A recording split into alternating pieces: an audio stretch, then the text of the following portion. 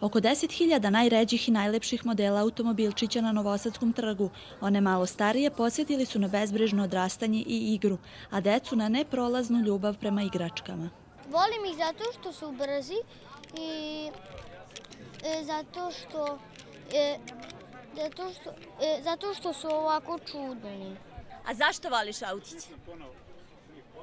Zato da se kuvaju.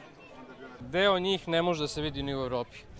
Ovo recimo gore su kolekcionarski modeli, Hot Wheels, ali 100% Hot Wheels. Znači nije onaj komercijalni deo Hot Wheelsa koji možete naći u prodavnicama. Ovdje imate sedam komada.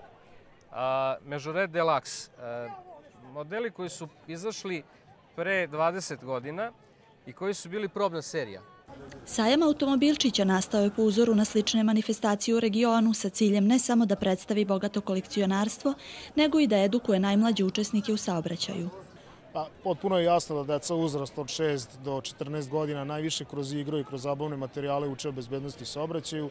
S tim u vezi smo i pozvali naše kolege iz udruženja koje se direktno bave takvim stvarima, gde će oni kroz propagandne materijale, ankete, e, pokazne vežbe, deci na jednostavan način e, objašnjavati neke osnovne stvari. Ovo je jedan od načina kako se iz saobraćaja kroz evo igračke automobilčiće i dalje spominje u priči u svakodnevnom životu, a samim tim se onda uključuje i priča o bezbednosti u saobraćaju.